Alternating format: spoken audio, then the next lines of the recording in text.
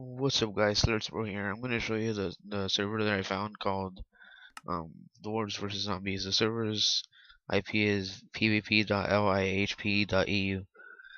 When you start to join the server, um, you get a book and a gold ingot, or yeah, and you use a hit button to turn into a dwarf.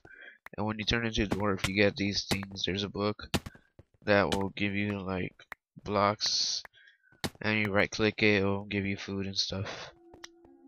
Um, so thanks for watching. Please like comment and subscribe. Peace